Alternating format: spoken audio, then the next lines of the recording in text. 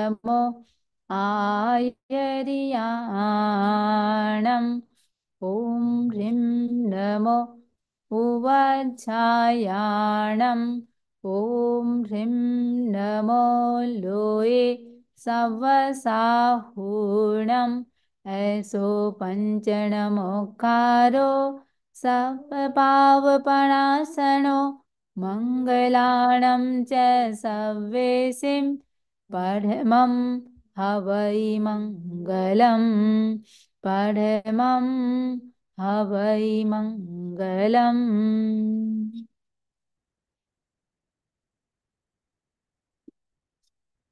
सावधान कुछ समय के लिए ध्यान का प्रयोग करेंगे आँखें कोमलता से बंद रीढ़ की हड्डी व गर्दन सीधी रहे मन शांत शरीर को स्थिर शिथिल एवं तनाव मुक्त करें कहीं कोई हलन चलन नहीं स्थिरता। शरीर की स्थिरता मन की स्थिरता।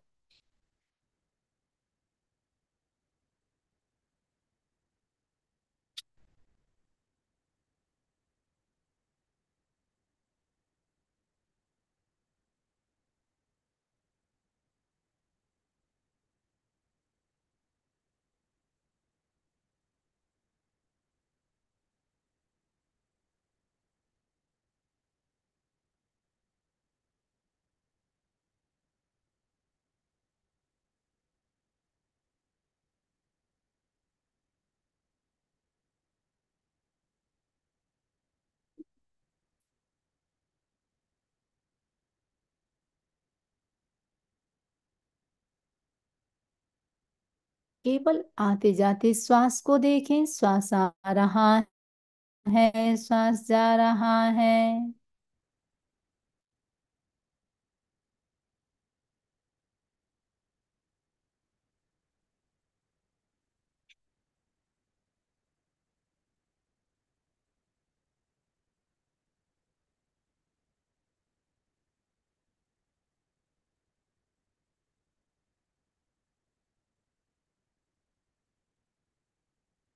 श्वास को जितना सूक्ष्म कर सकते हैं करने का प्रयास करें।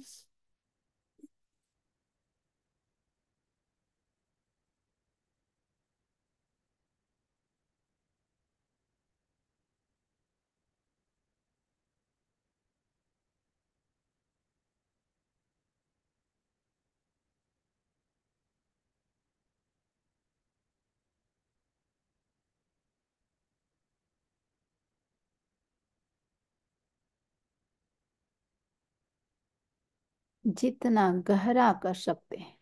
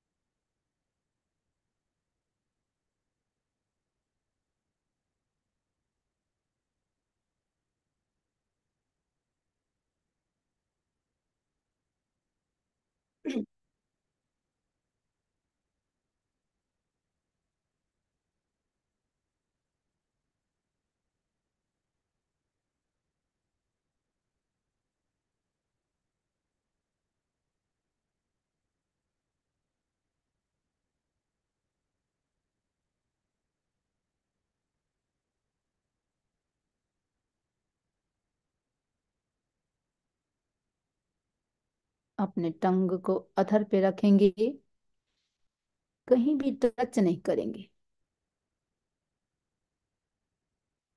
दांतों को भी थोड़ा सा खुला, होठ बंद रहे।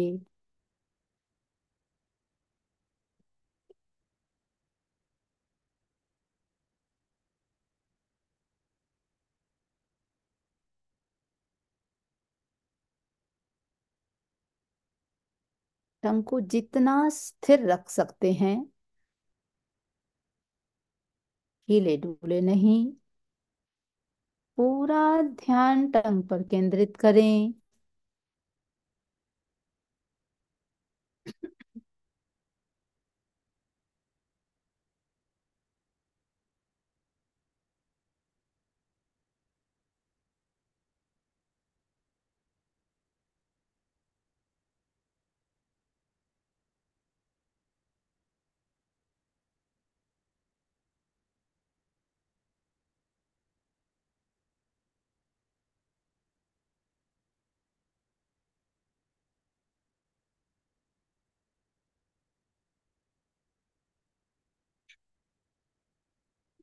कहीं भी टच नहीं करना है, न ऊपर, न नीचे, न दांतों से।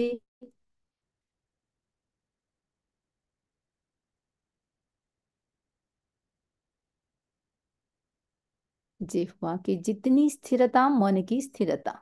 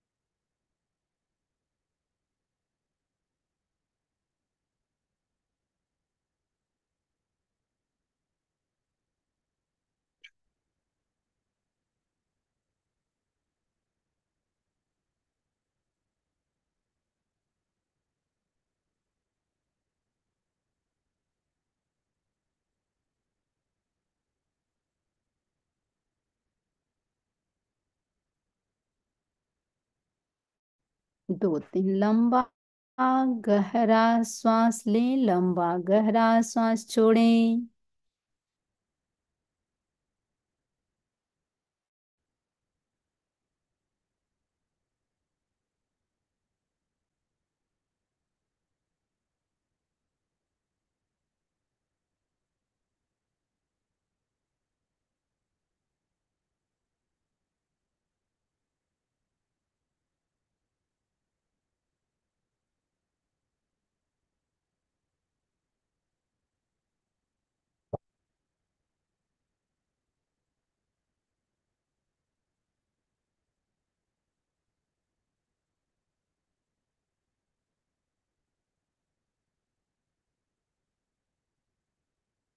प्रयोग। संपन्न।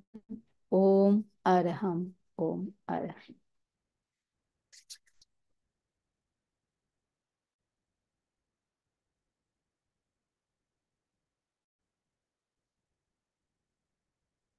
सामायिक का पचकान कर लेंगे, जिन्होंने नहीं पचकान किया है।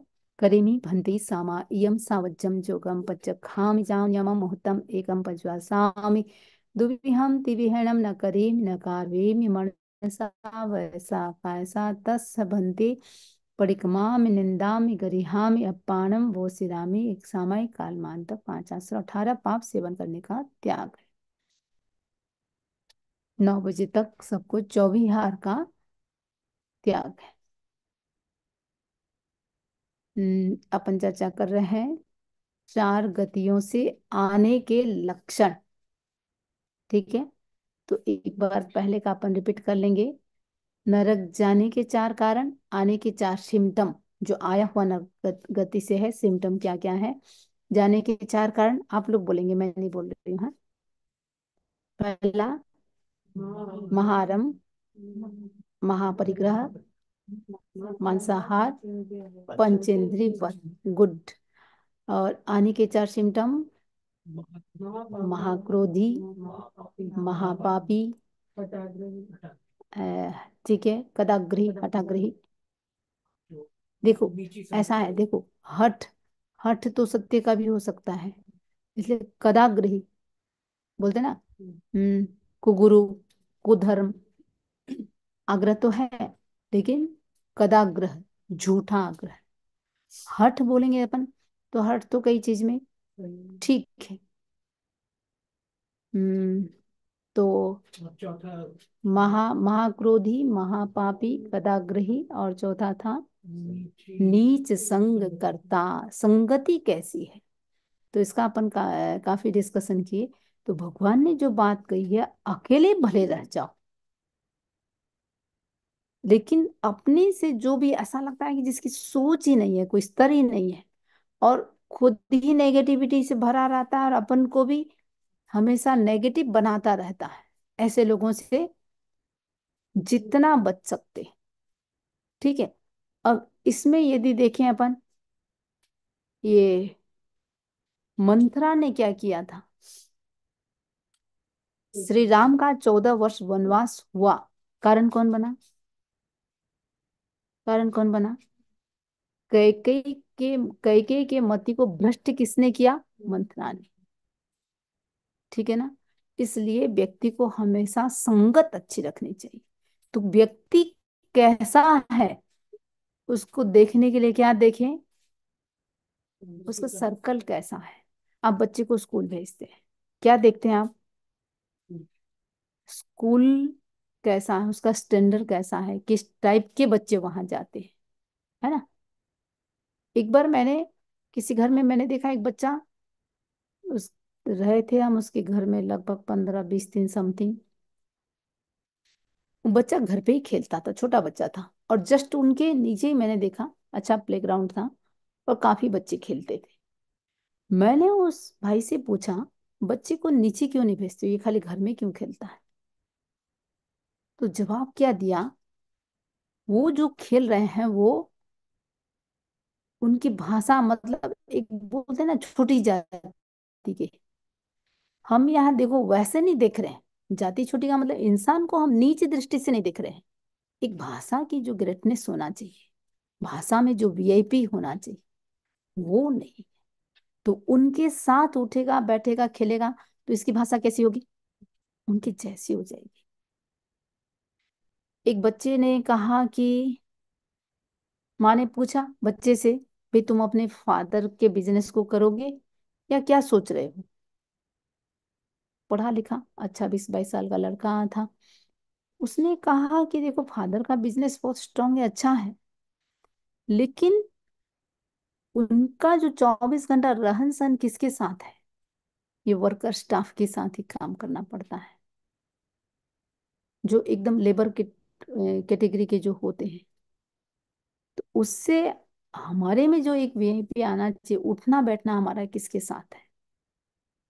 राइट तो जो भगवान ने बात कही, संगति किसकी कर रहे हैं? अब है दूसरा तिरंच गति।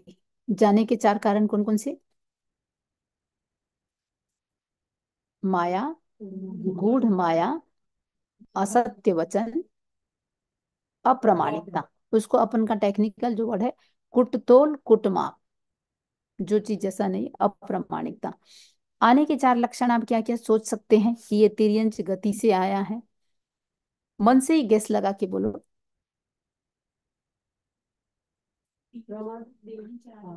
है? टेढ़ी चाल होगी। बेचारा ऐसे मतलब उल्टा पुल्टा चल रहा है तो वो तिरंज गति से आया है। ऐसे नहीं नहीं नहीं नहीं मैं वो नहीं पूछ। रही मेरा यहाँ क्वेश्चन है जैसे सब जीव किसी न किसी गति से आए तिरंज गति से कोई जीव आया है तो उसका क्या क्या सिम्टम होगा? आप तिरंज की परिभाषा बता रहे थे। अधिक प्रमाद। गुड।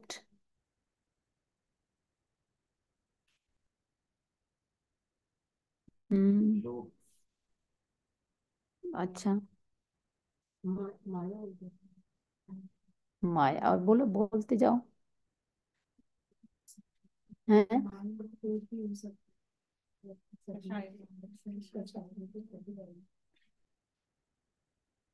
देखो, क्रोध अपन उधर ले लिए ना, नरक वाले में तो तिरंच में फिर एक बार क्रोध को मत लो। मात्रा तो सब में सब चीज़ है, परसेंटेज कितना है? बिल्कुल ठीक है। देखो व्यक्ति आलसी है? विवेक की कम। विवेक का भाव। अपन जो मूल चार चीज़ को हाईलाइट जो कर रहे हैं होने को तो पचासों चीज़ होगा देखो। हम किन किन बातों पर ध्यान दे रहे हैं? और कुछ चीज़ें अभी जैसे स्मिता जी ने एक दिन एक क्वेश्चन पूछा था समझ जी आलस और प्रमाद में आपने ही पूछा था ना आलस और प्रमाद में अंतर क्या है? तो इसमें तिरंज गति से आए हुए जी लक्षण जो है उसमें आलस एक अलग चीज़ है और प्रमाद एक अलग चीज़ है। ठीक है? अब इन दो को भी अपन को समझना है। तो एक आलस विशाल जी ने आलस कहा। आपका नाम क्या बताए थे? अभिषेक जी ने प्रमाद कहा है। गुड, दोनों का सही है। तीसरा? हम्म।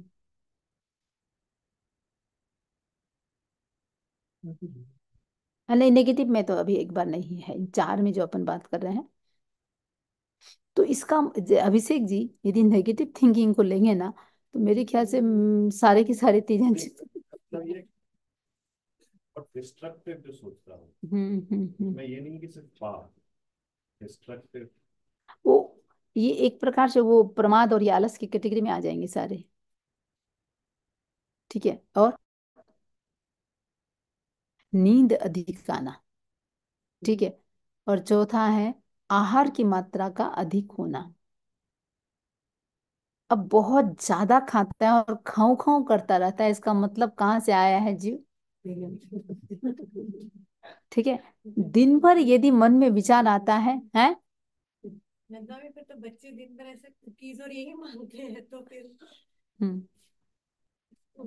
तो थोड़ा और वेट एंड वॉच है ना? देखो बड़े होके थोड़ा चेंज हो रहे हैं क्या? हैं? ऐसे एक एक एक ऐसा भी हुआ देखो मैंने एक घर में देखा कि सब लोग ऐसे थोड़े से स्लिम ट्रिम ही थे।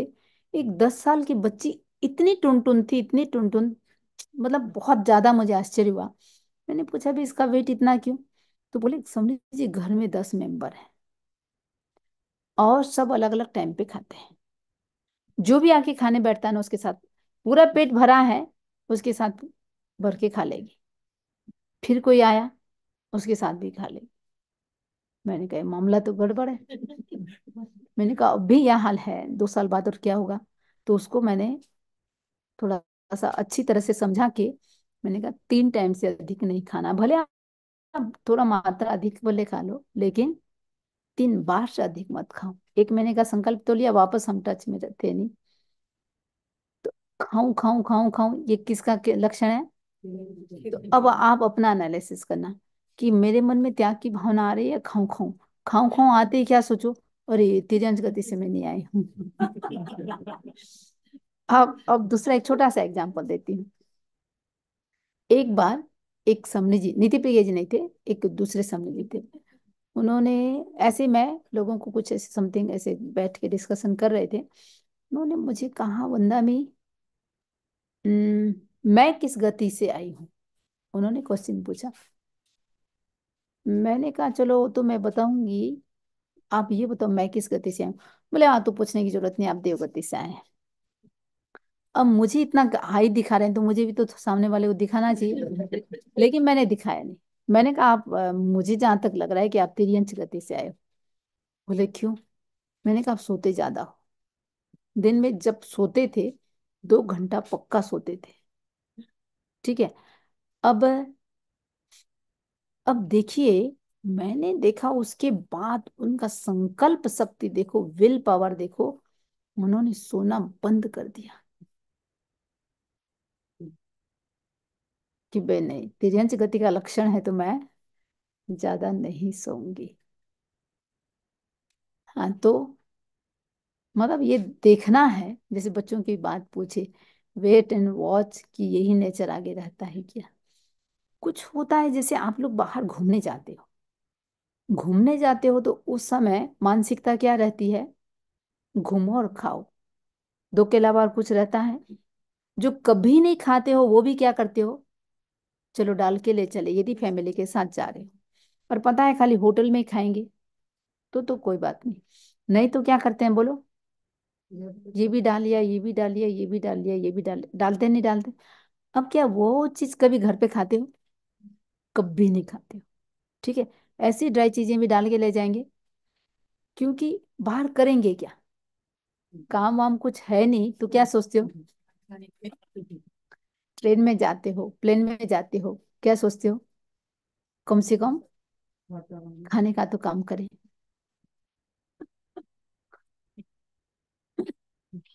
कुछ लोग जैसे गाड़ी में बैठने के साथ सोचते हैं, चलो, पूरे साल भर की नींद गाड़ी में पूरी कर ले। हाँ मैं बात ये बता रही थी, देखो, नींद अधिक, बहुत ज़्यादा सोना गति का लक्षण है। अब कितना सोना चाहिए? मेरे हिसाब से बच्चों की बात छोड़ दें, बच्चे एकदम छोटे, जो बच्चे आजकल स्कूल वाले तो न्याय नहीं करते हैं। ऐसे देखें अपन पाँच छह साल तक तो कम से कम दस, बारह, चौदह घंटा तो उनको सोना ही चाहिए। तीन तीन, चार चार साल के जो उसमें डालते हैं, सुबह छह बजे से उनको कितना मुश्किल से आप लोग उठा उठा के स्कूल भेजते हैं। बेचारे को मस्ती से मिनिमम पढ़ाई कम से कम चौदह घंटा उनका सोना होना चाहिए। और अभी आप लोग जिस एज में है, कितना होना चाहिए सोना? आठ घंटा भी बहुत ज़्यादा है। छह, पाँच से छह घंटा इनफ है। उससे ज़्यादा सो रहे हैं तो? नहीं तिरंज गति तो ठीक है। इसका मतलब कहीं ना कहीं वो प्रमाद है है ना? देखो, दो चीज़ है, भूख भूख और नींद, ये दो चीज़ ऐसा है ना, जितना बढ़ाओ बढ़ेगा और जितना घटाओ घटेगा। किसी को मैंने देखा था एक बार काफ़ी वेट था और वापिस एक साल बाद देखा तो पच्चीस के जी कम था। कैसे किया? खाने पे कंट्रोल बोले, समझ जी, ऐसा समय था कि आदत थी। खाता ही रहता था, खाता ही रहता था। अब तो इतना कंट्रोल कर रहा हूँ, चाहे मनपसंद चीज़ है, चाहे कुछ है। मतलब जो चीज़ जितना, जैसे दो रोटी खाना है तो वो भी ये रागी की रोटी होती है ना? बोले, गेहूँ, चावल, सब चीज़ छोड़ दिया, मिठाई छोड़ दिया, ये छोड़ दिया, वो छोड़ दिया। कितना केजी कम किया? पच्चीस केजी, एक साल या अच्छा चार महीने तो मुझे ऐसा लग रहा है कि भूख और नींद दोनों चीज़, ये जितना घटाओ घटेगा और जितना बढ़ाओ, बढ़ेगा। और खाऊं खाऊं सोचते रहेंगे ना तो कभी पेट भरेगा ही नहीं। राइट? देखो इसमें खानों खाने को लेकर के एक बात और है। अब जैसे पेट तो भर गया लेकिन मन नहीं भरा। होता है ऐसा? है? होता है नहीं होता है? या हमारे गुजराती शायद एक भी नहीं है हमारे जीमित जी हैं गुजराती और कोई है? गुजराती लोग बोलते हैं जब तक छाछ नहीं पियेंगे ना उनको भीतर से आनंद नहीं आता है। छाछ पी लिया इसका मतलब मन तृप्त हो गया। अब आप लोगों का भी ऐसा ही कुछ होगा कि लास्ट में बस ये चाहिए तो चाहिए किसी को स्वीट चाहिए। जब तक है? मिठाई। जब तक स्वीट नहीं होगा ना आनंद नहीं आता है। किसी को दही चाहिए किसी को पापड़ चाहिए पूरा पेट भर के खा लेंगे। लेकिन पेट तो भर गया मन नहीं भरा। और जहाँ मन नहीं भरता है वहाँ क्या होगा? ढूंढते रहेंगे क्या खाऊं कुछ खाऊं। पेट भर गया है। राइट? अब जब भी ये खाऊं खाऊं, कुछ खाऊं, मन में विचार आए तो अरे मैं तेरी अंश गति से नहीं आया हूँ। सुनील जी, हमारी चर्चा चल रही है। जैसे चार गतियों में जाने के सिम्टम क्या है और आने के सिम्टम क्या है? हम किस गति से आए हैं? उसका लक्षण क्या है? तो नरक में जाने के चार कारण, आने के चार कारण की चर्चा कर चुके और अब चर्चा कर रहे हैं तिरंज गति से यदि आए हैं तो उनका सिम्टम क्या हाँ? अगर मतलब इस जान के हम क्या कर लेंगे हम किस गति से आए? वो तो पास था वैसे भी। मतलब क्या किया था क्या फ़र्क पड़ता है? फ़र्क तो ये पड़ता है कि इस गति में से आपने कहा कि छह से सात घंटे सोना चाहिए। हम्म। तो अगर ऐसी कुछ गाइडलाइंस हो हर चीज़ में कितने घंटे सोना चाहिए कितने घंटे तक खाना चाहिए उससे शायद फ़र्क पड़, पड़ेगा। नहीं, वो चर्चा तो अपनी चलती ही रहती है। जैसे मैंने एक एक छोटा सा एग्ज़ाम्पल दिया। छोटा सा एग्ज़ाम्पल दिया। उस समरी जी को कहा मैंने कि भाई, नींद ज़्यादा लेते हो। विल पावर को स्ट्रॉन्ग किया और उन्होंने दोपहर को सोना ही छोड़ दिया। अब दूसरी बात जो मैंने प्रैक्टिकल लाइफ के लिए जो बात बताई, जब भी मन में खाने का विचार आए या खाओ खाओ विचार आए तो क्या सोचो, मैं तिरंच गति से नहीं आई हूँ। आए भी है, मान लो तो भी अपने विल पावर को इतना स्ट्रांग करके अपन को, अब जैसे पता है खाना खाए, ठीक है, तीन घंटा नहीं खाएँगे। अब तीन घंटे का तुरंत मन में क्या विचार आएगा? और ये कहीं ऐसा ना हो कि कोई भूख लग गई तो ठीक है, या फिर खाने का मन हो गया तो ये सारे विकल्प मेरे ख्याल से बंद हो जाएँगे। तुरंत आएगा कि हाँ चलो एक बार खाना खा लिया, पेट भर गया, अब तीन घंटे का मैं त्याग कर लूँ। और नहीं कर रहे हैं तो एक सोचने के लिए एक अवसर मिल रहा है कि कहीं तिरंज गति से आया हुआ तो नहीं हूँ।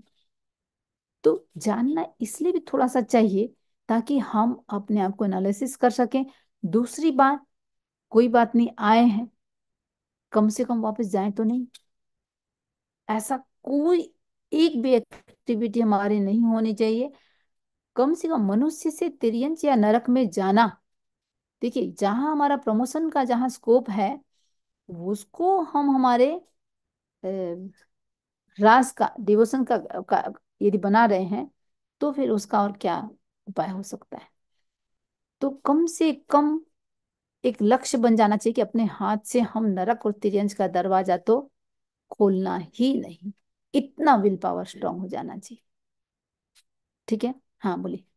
अगर आठ नौ घंटे सो रहे हैं तो वो क्या रीजन बनेगा वेरिएंस में जाने का? हमने जो रीजन डिस्कस किए थे वेरिएंस में जाने के नहीं नहीं यहाँ जाने की बात नहीं कर रहे हैं। यहाँ हम आने के सिम्टम की बात कर रहे हैं। नहीं नहीं जाए तो वो चार कारण था। ठीक है? माया गुड़ माया असत्य वचन और अप्रमाणिकता ये जाने के चार कारण है। अब उसमें अवेयरनेस कहाँ रखना है? एक बार भी हम झूठ बोल रहे हैं, एक बार भी। उस समय इतना सा सोचो, यदि मेरा अब आयुष्य का बंद हो गया तो मर करके कहाँ जाऊँगी? तेरी अंशगति में। तो मेरा जो इतना सारा धर्म, ध्यान आगे पीछे जो किया हुआ है, वो क्या हो गया? ज़ीरो चला के। है ना? तो इसलिए कम से कम मुझे उसे ज़ीरो बनाना नहीं है। तो ये मूल जाने के जो चार कारण जो बात किए हैं अपन जब जब ये माया का भाव आ रहा है माया कर रहे हैं और उस समय यदि आयुष्य का बंद हुआ हंड्रेड परसेंट वो व्यक्ति तिरंश में ही जाएगा। ठीक है? तो असत्य आल, आलस का अधिक सोना प्रमाद अधिक खाना और आलस। अच्छा अब ये बताइए प्रमाद क्या है? और प्रमाद और आलस में अंतर क्या है? प्रमाद की मूल परिभाषा क्या है? किसमें? धर्म में। प्रमाद का मूल मतलब है धर्म के प्रति अनुत्साह इंटरेस्ट नहीं होना, रुचि नहीं होना। ठीक है, अब प्रमाद किसका प्रकार है? नहीं नहीं, आठ कर्मों में मोहनी का। प्रमाद के कितने प्रकार हैं? किसी को पता है? स्मिता जी अलका जी पता है? प्रमाद के प्रकार कितने हैं? पाँच प्रकार हैं। कौन कौन से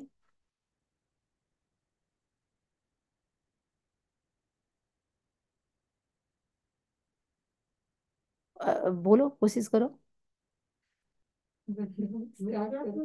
हाँ नहीं नहीं, नहीं। वो तो आश्रम के पाँच प्रकार है। चलो, उसको सोचना। ठीक है?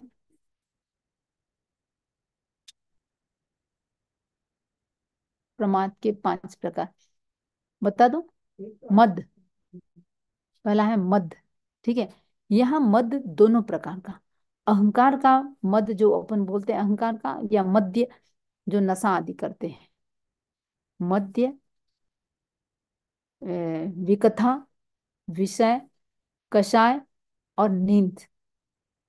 ये पाँच प्रमाद का नींद अधिक लेना ये भी प्रमाद का ही प्रकार है। तो यहाँ हम जो कर रहे हैं प्रमाद ऐसे यदि ऑल टोटल में यदि जाए तो धर्म के प्रति उत्साह का नहीं होना। अब सबको पता है कि यहाँ एक घंटा बैठेंगे। मैं कहती हूँ कि चलो सब सामायिक पचक लो। नहीं पचक रहे हैं इसको क्या कहेंगे हम? ये प्रमाद।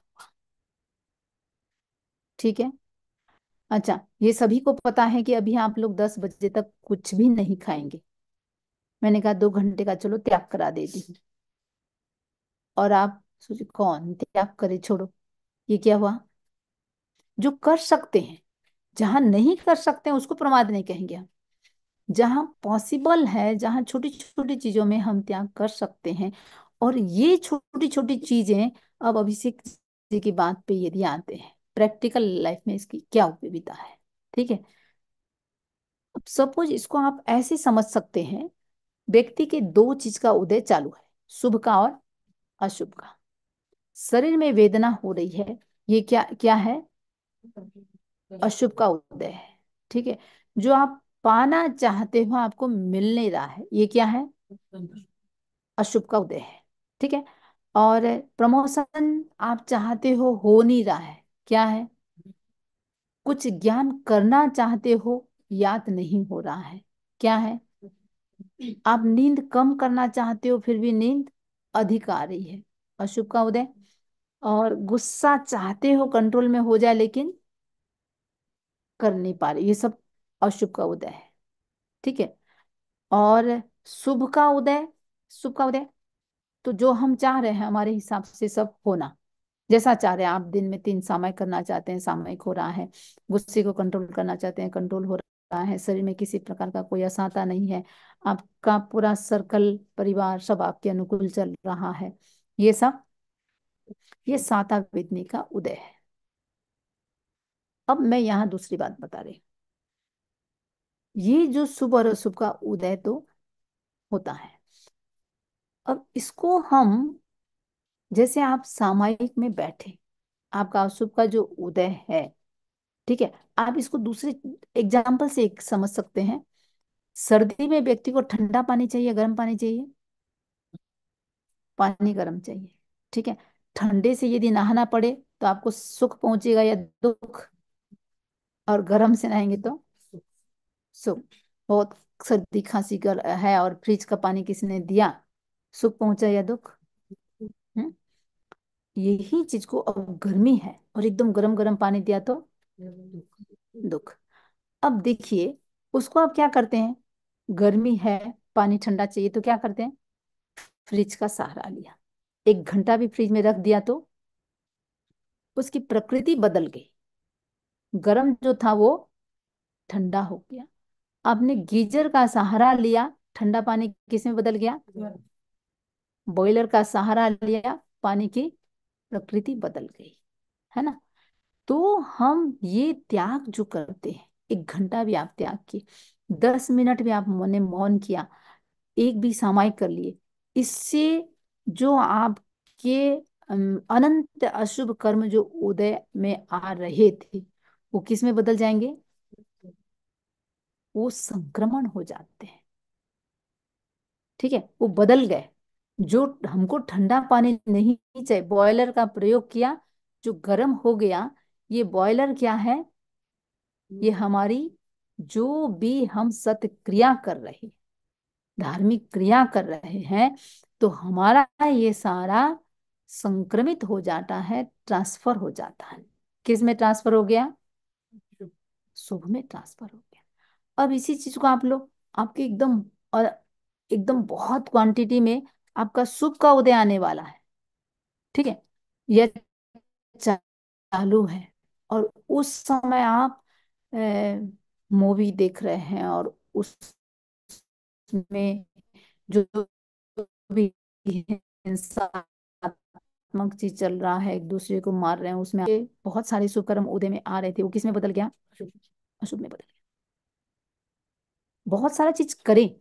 मैं ये नहीं कह रही हूँ कि आप बिल्कुल साधु बन जाए और सब संसार की सब चीज़ छोड़ दें, मैं छोड़ने की बात बिल्कुल नहीं कर रही हूँ। जहाँ भी ऐसी चीज़ है ना, भीतर से आनंदित मत बनो। भीतर से राग द्वेष को जितना माइनस कर सकते हैं करने का प्रयास करो। अब मूवी भी देखो, लेकिन उसके साथ राग द्वेष न जो एकदम न्यूट्रल होकर के देखते हैं। बोलो। कौन ऐसा है जो एकदम न्यूट्रल होकर के देखते हैं, बस देख रहे हैं। हम्म? गुड। एक मयंक जी और। राग द्वेष जुड़ता ही नहीं। क्या नेहा एक बोल रही है कि, है? जुड़ता ही नहीं है। बस पता है कि हाँ बस एक हम कहानी देख रहे हैं। सबका ऐसा होता है? है? जब बोरिंग होता है, तब तो होता है। चलता है ना, उसने ऐसा क्यों कर दिया, उसको ऐसा नहीं करना चाहिए था। अच्छा और दूसरी बात, जैसे चलो, विशाल जी बोल रहे हैं, पाँच दस दिन तक चलता रहता है। और हंड्रेड परसेंट मान के चले, रात को कम से कम जो देख के सोए हैं, सुबह उठने के साथ विचार क्या आएगा, बोलो। पता है, वो कितने प्रैक्टिस करके स्टेज पे खड़े हुए हैं। एक दूसरे को जो मारा भी है ना वो तो खाली आपको वो दृश्य दिखा रहे हैं जो स्टेज पे इतना सा है। उसके नीचे क्या किया वो? कई दिन तक उस चीज़ की प्रैक्टिस की है। जिसको शत्रु मान रहे हैं वो सगे मित्र हैं। फिर भी हम देखते मतलब आप लोग देखते समय क्या सोच रहे हैं? अच्छा आज कोई पुरानी घटना है, मान लो भगवान महावीर की यदि दृश्य दिखा रहे हैं चंदनवाला का दृश्य दिखाएँगे। मैं अपनी ही बात लूँ। चंदनवाला का जब जब भी मैंने अनुभव किया कि जब जब भी मैं स्टोरी पढ़ती थी तो क्या हो जाता था? आँखों से सिर्फ़, ऐसे नहीं कि सिर्फ़ मैं इमोशनल हुई, कंट्रोल करना मुश्किल हो जाता था। चलो, ये तो रियल घटना रही है, ठीक है? लेकिन आर्टिफिशियल चीज़ में भी क्या होते हैं? इन्वॉल्व हो गए, राग द्वेष जुड़ गया। और विशाल जी के अनुसार कई दिन तक जो चल रहा है, वो हमारे संसार को क्या कर रहा है? बढ़ा रहा है। मोहनी कर्म को बढ़ा रहा है। जो शुभ कर्म उदय में आने वाले थे, उसको किस, क्या कर दिया उसने? ट्रांसफ़र कर दिया। राइट इसलिए हम छोटी छोटी चीज़ों में कैसे त्याग कर सकते हैं? छोटी छोटी चीज़ों में प्रमाद से कितना बच सकते हैं? तो ये सब प्रमाद आदि से मोहनी कर्म जो भी बढ़ाएगा, देखो। मोहनी कर्म का परिवार है, वो बढ़ना इसका मतलब संसार बढ़ना। एक बार के लिए भले, जैसे नेहा ने कहा कि भाई सामने जी जाने का तो कारण ये नहीं है। संसार बढ़ने का कारण तो है। प्रमाद व्यक्ति का आज गौतम स्वामी को भगवान महावीर ने कितनी बार कहा समय हमको ये माप माए। देखो भगवान ने ये नहीं कहा तुम गुस्सा मत करो। भगवान ने ये नहीं कहा तुम झूठ मत बोलो। भगवान ने ये नहीं कहा तुम कसाय मत करो। ठीक है क्या कहा? प्रमाद। मत करो। इसके हम डीप में जाए। प्रमाद को भगवान ने कितना वो दिया है स्थान? ये नहीं कहा कि तुम मांस खमन करो, प्रमाद मत करो। और एक क्षण भी समयम गोयम माँ पमाई क्षण भी प्रमाद मत करो। और साथ में ये भी कहा कि अभी तो मैं हूँ, अभी मैं हूँ, और तुम इसी भाव में उस पार जा सकते हो। आगे क्या होगा? जब मैं चला जाऊँगा आगे क्या होगा? तो ये सोचना है कि अभी तो हमारे पास भगवान की वाणी है, जिसके सहारे हम उस पार जा सकते हैं। तो प्रमाद प्रमाद से अपने आप को जितना बचा सके। बस वही उत्साह का होना। क्या हो जाएगा, ये विकल्प आता है। त्याग नहीं करेंगे तो क्या क्या फ़र्क पड़ता है? कर लिया तो क्या हो जाएगा? ठीक है, ये विकल्प आ रहा है। इसका मतलब इसका मतलब? नहीं नहीं, वो तो ठीक है। कौन सी कर्म का उद्देश्य ये विकल्प आए, आ रहा है। चलो, क्या फ़र्क पड़ता है? नहीं क्या करें तो? क्योंकि ये सारी चीज़ें दूसरा कोई देख नहीं रहा है। ये भीतर से हमारे आना चाहिए किसी ने कहा कि भाई समझ जी, मुझे इंटरेस्ट नहीं आता है। आज स्मिता जी आए हैं। ठीक है? मैंने कहा, आते क्यों नहीं? वो इतनी रुचि नहीं है। मैंने कहा, बच्चे को स्कूल जाने की रुचि नहीं है। क्या करते हो? बोलो। बच्चे को टीवी देखने की इच्छा है। क्या करते हो? एग्ज़ाम का समय है और टीवी देखना चाहता है। क्या करते हो? बोलो। है? बंद कर दोगे टीवी को। रिमोट इधर उधर कर दोगे। लेकिन हमारा मन कैसा है? बच्चे की तरह है। इसको जित, जैसा हम ट्रेंड करेंगे ना, ये ट्रेंड हो जाएगा। क्या इच्छा है? नहीं है, उसमें मत जाओ। क्या होना चाहिए? जो कर सकते हैं करो। बारह निर्जना के भगवान ने भेद बताया। जिसमें भी हमारा इंतु आज नहीं तो कल आ जाएगा। अभ्यास, आप सोचते हैं, किसी को मैंने कहा यहीं पर, मैंने कहा, आया करो, भाई, थोड़ा बहुत कुछ करो। तो बोले हम्म। जैसे अपने मम्मी के लिए उन्होंने कहा हाँ मतलब इनका तो समय आ गया है करने का, धर्म ध्यान हमारा आएगा तब कर लेंगे। मुझे ऐसा लगता है जिस चीज़ का आज यदि आदत नहीं डालोगे, हम अभी जिमित जी के साथ एक बहन को दर्शन देने गए। पंद्रह बीस मिनट तक उनको हमने सुनाया। आत्मा भिन्न, शरीर भिन्न, सब चीज़ हमारे साथ बोल रही थी। शायद लास्ट फ्राइडे की ही बात है शायद, है ना? फ्राइडे या सैटरडे समथिंग था। सैटरडे था। तो आत्मा भिन्न शरीर भिन्न वो बोल रही थी मैंने कहा देखो संथारा करना चाहिए करोगे ना संथारा? हाँ सामने जो। सब समय स, उसने जवाब क्या दिया? समय आएगा तब करूँगी। और नीति प्रज्ञा जी मुझे बोले वंदा में संथारा पचका दो। ठीक है? बोले वंदा में क्यों आप आज ही मुझे बोल रहे हैं? आप तो पहले फटफट संथारा पचकाते थे अब क्यों नहीं पचकाते हो? ठीक है? पहले इतनी समझ नहीं थी। अब लगता है कि पता नहीं घर वाले की सबकी मानसिकता हो, नहीं हो। पहले घंटा घंटा सबको समझा समझा के फटाफट संतारा पचका देते थे और बहुत ऐसे लंबा भी नहीं चलता था। मैंने उसको थोड़ा सा मानसिकता तैयार कर दी, बेटे को कह दिया, देखो, इनको थोड़ा सा त्याग में ही रखो, खुला मत रहने दो। हम्म।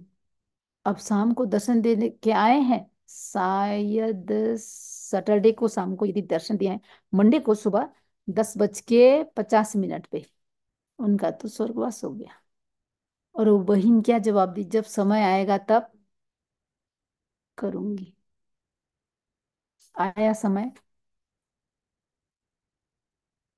कुछ भी पता नहीं। यदि जो भी ऐसा सोचता है ना, ठीक है, कर लेंगे। मैं ये कह रही हूँ कि भाई अब भी हम मस्तिष्क को सबकॉन्शियस माइंड को हम यदि युष्ट नहीं करेंगे। आप सोचते हो ऑन द स्पॉट ये सारे विकल्प आ जाएँगे इम्पॉसिबल है। आदत डालें आदत डालें आदत डालें। धीरे धीरे, थोड़ा थोड़ा करें। एक साथ ज़्यादा करेंगे ना तो भी ऊब आ जाएगी।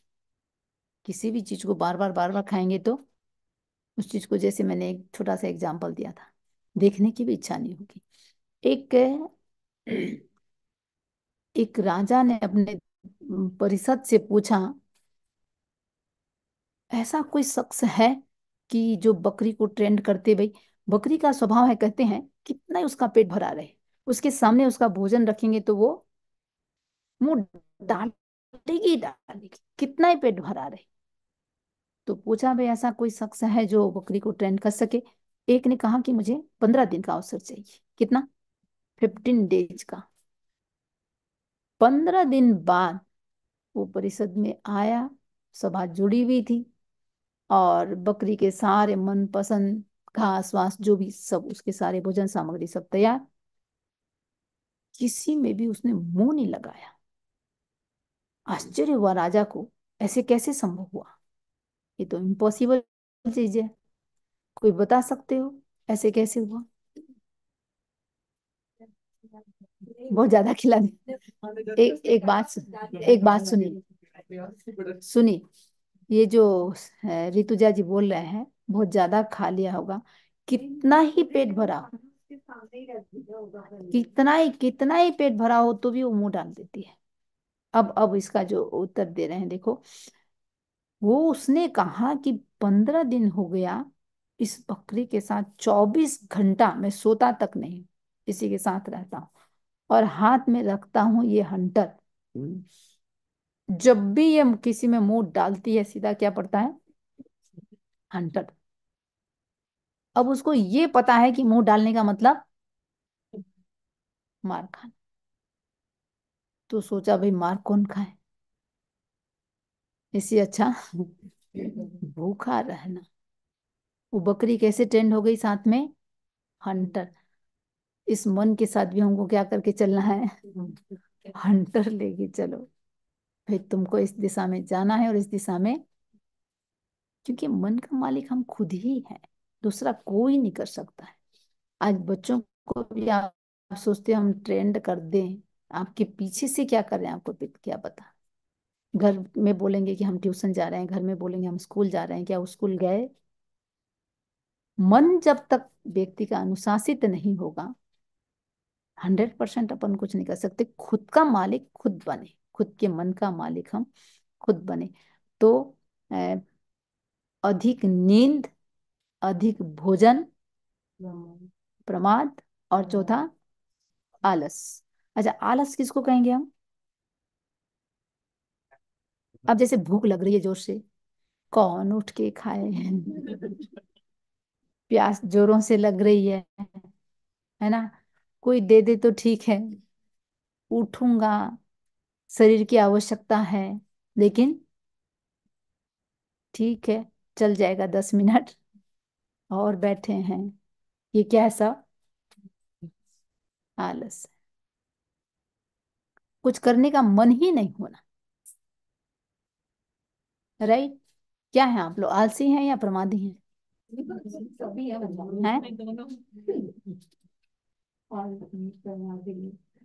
तो इसका मतलब अलका जी के हिसाब से तिरंज गति साहिब जीव का सारा लक्षण सब है।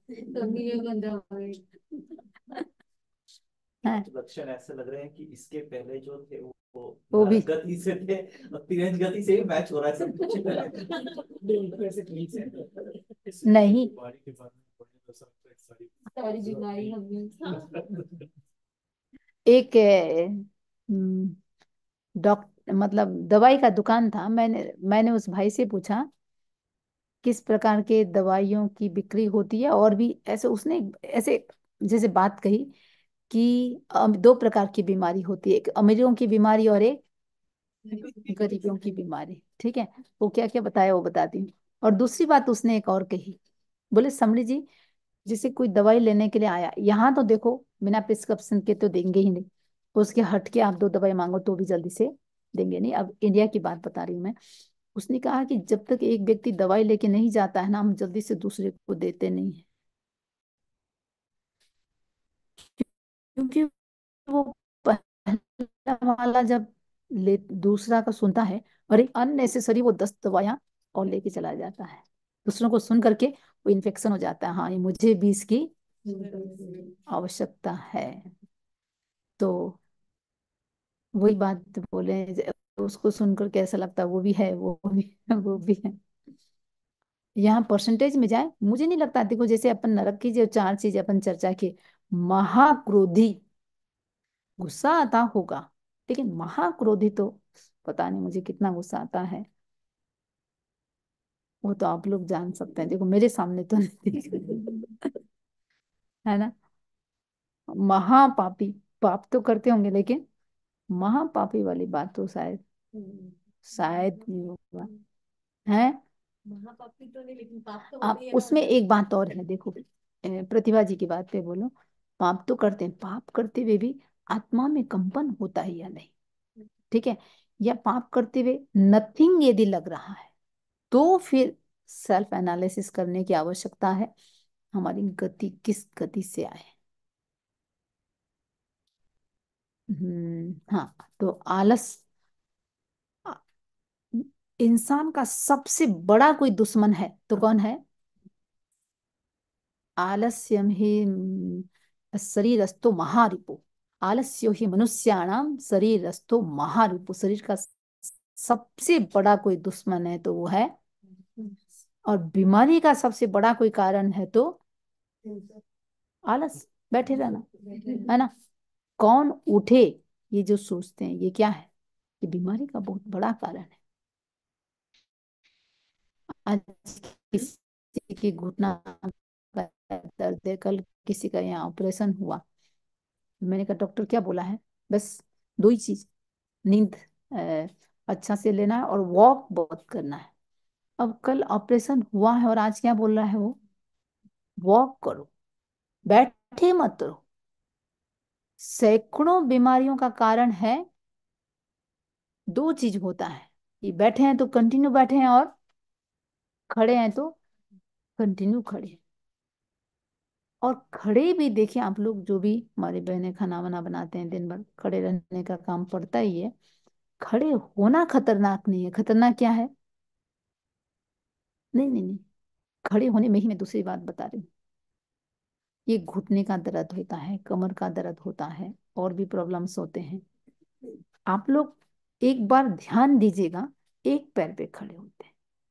एक साथ दोनों पैर पे नहीं होते, एक पैर पे ज़ोर देते हैं। पैर तो खड़े तो दोनों ही पैर से होते हैं, लेकिन एक बार एक पैर में ज़ोर देंगे, थोड़ी देर बाद दूसरे। क्या एक साथ इक्वल बैलेंस दोनों में रहता है? ये बहुत मेजर प्रॉब्लम है। इससे धीरे धीरे धीरे धीरे दूसरी सारी बीमारियाँ आएगी। घुटने का बहुत बड़ा ही कारण बन जाता है। तो इसलिए उतना ही खड़े रहो जितना आप दोनों पैसे खड़े रह सकते हैं। हाँ तो कंटिन्यू खड़े रहना कंटिन्यू बैठे रहना।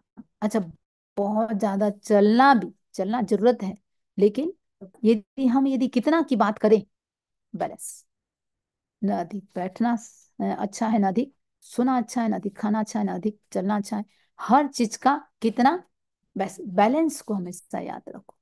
गुस्सा भी कितना करना चाहिए।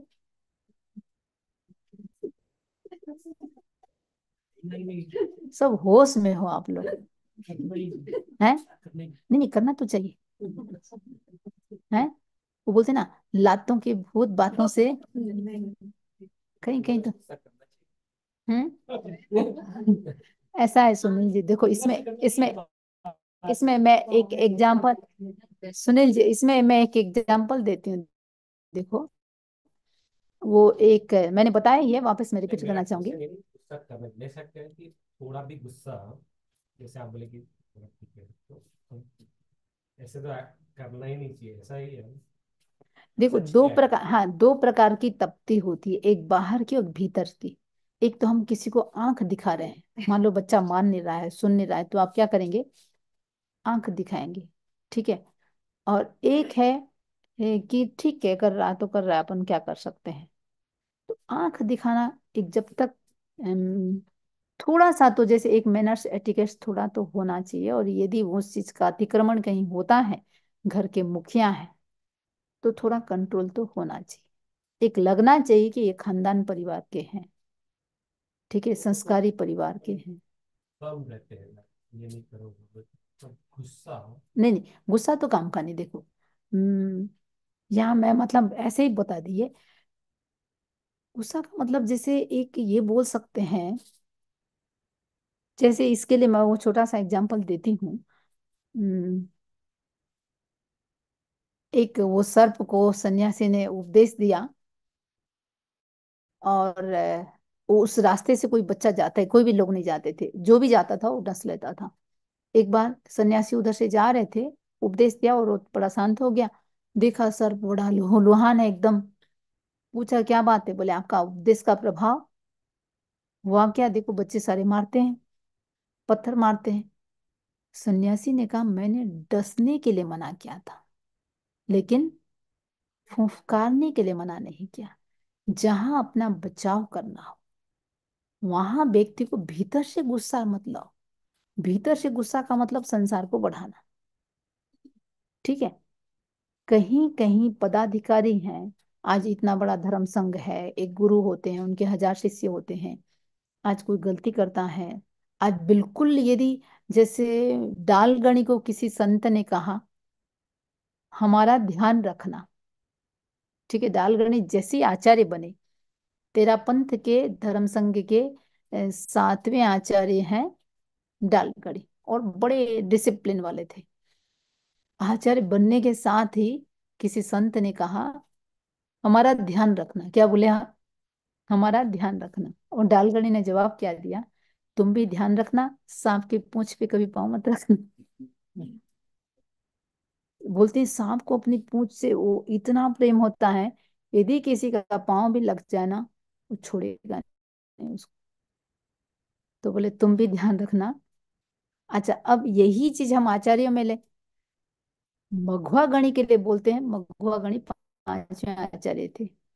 इतने कोमल इतने कोमल, किसी को कुछ उपालंब भी नहीं दे सकते थे।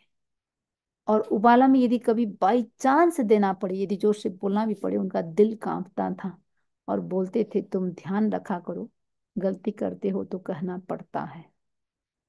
एक बार ऐसा हुआ एक साधु का कहीं संतों का चातुर्मास फरमाए और दस किलोमीटर की दूरी पे बड़ा गाँव था।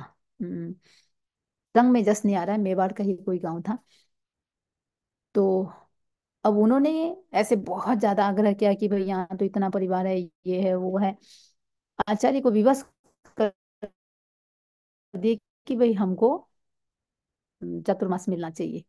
अब आज वहाँ मगुआ गणी उनको नाराज़ भी नहीं कर सकते हैं, दिया हुआ को छीन भी नहीं सकते बोले आपस में हैं कुछ भी फरमा सकते हैं भाई, लेकिन एक को नाराज़ भी नहीं करना है। तो ठीक है, दोनों प्रकार के महाप्रज्ञ जी को बोलते हैं, कभी ऐसे अंगुली में सोचना पड़े कि कभी उनको गुस्सा आया था क्या? तो ऐसे ज़रूरी भी नहीं है और किसी किसी का नेचर सा बन जाता है तो वहाँ परिवार वाले भी समझ जाते हैं कि ये इनका नेचर है। देखिए, अपना नुकसान ना हो, कहीं डिसिप्लिन करना भी पड़े, भीतर से गुस्सा ना आए कि अपना संसार बढ़े या कुछ ऐसा हो, वो चीज़ तो होना ही नहीं चाहिए। जैसे पोषित शब्द उदाहरण आता है ना हम्म। तो उनको तो बाद में वो जैसे बुझ बुझ जैसे भगवान आगे स्वामी ने समझाया उसके बाद वो उनको इतनी चीटियाँ सब आते रहे। अगर वो संकार करते तो उनका थोड़ी ना था नहीं नहीं उसमें देखो वो तो चलो संथारा पचक लिया और पंद्रह दिन के बाद वो उनका स्वर्गवास भी हो गया। ठीक है? अब मान लीजिए वो चींटी विटी जो आके डस रहे हैं खा रहे हैं उसको सहने की यदि व्यक्ति की हिम्मत नहीं है तो वहाँ क्या करेगा? अपना बचाव करेगा राइट अपना बचाव के लिए तो भगवान ने ना किया ही नहीं है कि भाई आपको कुछ करना पड़े तो। श्रावक के लिए भी भगवान ने कहा, जैसे वो अपन जो बारह व्रत का भी कर रहे हैं, निरपराध को मैं नहीं मारूँगा। अपराध किया है तो उसके लिए कोई ऐसे नियम नहीं दिलाते हैं कि आप मारो मत। या वो वाली बात नहीं कहते हैं कि एक किसी ने एक गा, गाल में मारा तो दूसरा गाल दिखा दो ये बात तो नहीं कहते हैं। अपना बचाओ।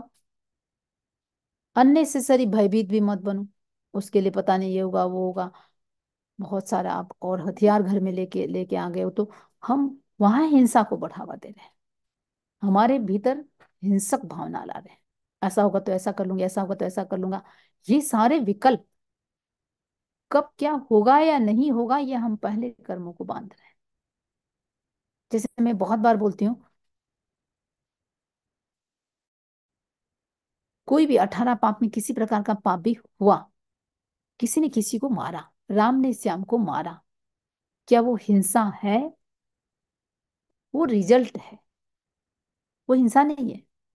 जो मारने का संकल्प था, जो उसने प्रोसेस किया, जो संकल्प विकल्प आए, वो अपने आप में और वो जो एक्शन हुआ, वो वो क्या है? वो रिज़ल्ट है। तो बिना कुछ हुए, पहले से क्या कुछ सोच रहे हैं? ऐसा होगा तो ऐसा कर दूँगी, ऐसा होगा तो ऐसा कर लूँगी, ऐसा होगा तो वैसा कर लूँगी, ये सारा क्या है? ये हम अननेसेसरी कॉस्मोस से वैसी एनर्जी को अट्रैक्ट कर रहे हैं। तो आपने क्या अभी प्रश्न पूछा? स्मिता जी, आप ही तो कुछ अभी बोल रहे थे। नहीं अपने बचाव के लिए देखो, इतना तो आप सहने की स्थिति में नहीं है। आज एक चार पत्थर मारे हैं तो आप कल ऐसे घर के सारे गेट खोला करके नहीं बैठेंगे कि आओ सब जितना मारना है मारो। अर्जुन माली जैसे आज के भाव में तो बनना पॉसिबल नहीं है। गेट खुला रहा कोई जानवर आ गया काट लिया तो कल क्या करोगे आप? क्या करोगे? बंद कर बंद कर दो। बचाव करोगे हम यहाँ बचाव की बात कर रहे हैं। या जा रहे हैं रास्ते में किसी कुत्ते ने काट लिया। अब दूसरे का किसी का कुत्ता यदि आज खुला है तो क्या आप बिंदास चले जाओगे? वहाँ क्या करोगे? बचाव वो चंड कौशिक जैसे विरले होते हैं, वो अर्जुन माली जैसे विरले होते हैं। ठीक है, और धार्मिक दृष्टि से, निश्चय नहीं की दृष्टि से देखें, कितना भी जैसे भगवान महावीर, इतना कष्ट आया, इतना कष्ट आया, लेकिन भगवान ने प्रतिकार नहीं किया। तो निर्जरा की दृष्टि से देखें तो व्यक्ति को पृथ्वी सबसे ज़्यादा सहनशील होता है पृथ्वी। अपने आप को पुडवी समो मुनि हवे जा।